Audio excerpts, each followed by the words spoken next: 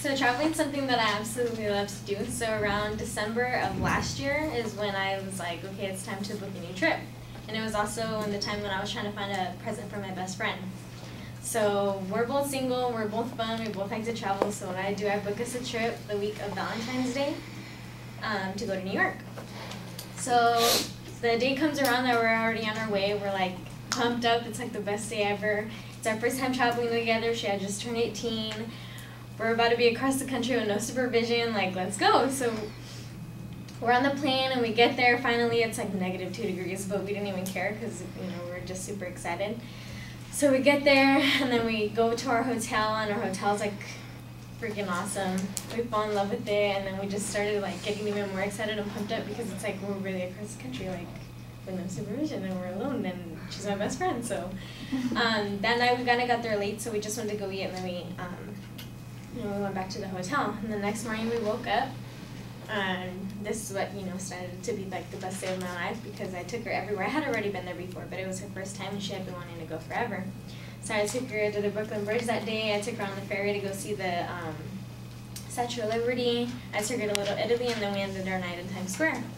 And she's like, I want to go shopping. And I was like, okay, you know, we could go shopping. It's not my thing, you know, but you're in New York. I guess you want to shop. So we finished our night in Times Square because it's just around the corner from our hotel. And she's shopping and she's like, um, H&M's closed. And I was like, okay. And, and she's like, I wanted to shop there. Like, that had all the, like, the nicest clothes there. I wanted to shop there. We have to come back tomorrow. And I was like, okay. So I, I just ignored her and we went on to the next day. And we wake up the, the next morning and I tell her, okay, like, this is what I want to do today. I want to take you here, here, and here. And she's like, well, we have to go to Times Square first. We have to go to H&M. And I was like, Taylor, you're in New York. Like, what do, you, what do you mean you want to go to H&M? Where you could do that at home. You could do that in LA. H&M's everywhere. I want to go there though. Like, they have the nicest clothes. And I'm like, are you serious? So whatever, this trip is about her. So we go, and she's there for a while, and she wants to stay there for hours again shopping, and I'm like just getting irritated. We're the exact same people. We get irritated at the same things. We get annoyed of each other. It's cold. We're, you know, it's just, it, everything's getting bad. And so at this point, the whole day was just, it was messed up. Like, we were just fighting back and forth. If we weren't, like, having a good time, we were fighting or, you know, just throwing comments at each other. So, um, anyway, towards the end of the day, I was just at that point where I was like, I wish I never brought you. Like, I regret bringing you to New York. I regret spending my money on you, everything. like, it was that bad. So, um, we got in a horrible fight that night. We woke up the next day, and this is what turned out to be the strangest day of my life because me and my best friend were either always fighting, making fun of people, making fun of ourselves, or laughing, like, or we're just, you know, being us. And we did not say one word to each other the whole day. And it was already time for us to go back. So, you know, we get to the airport, turns out our flight is delayed two hours. So we're sitting there in complete silence, not talking to each other, just pissed off, you know? And it's like, we're in New York, like, where, you know? So we got onto the plane finally, and since that flight was delayed, we had a connecting flight in uh, Denver. And so it turns out that 50% of the, more than 50% of the people that were on that plane had to be on that connecting flight, and we were already late when we got in Denver.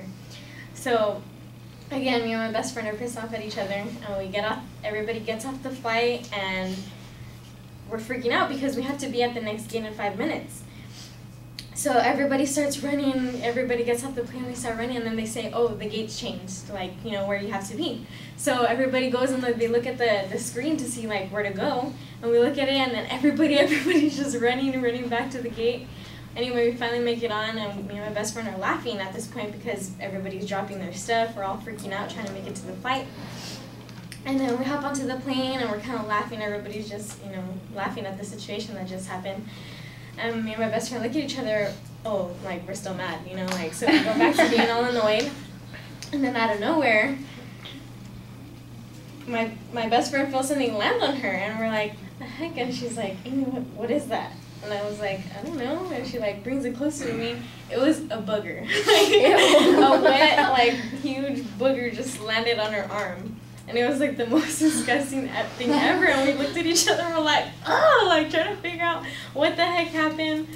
And then from there, we just, you know, got over it and we're like, dude, we had a good time in New York. Like, why are we going to fight at all? So Yeah, that's when I learned that my best friend was able to give me the best, worst, and fittest day of my life all in one weekend.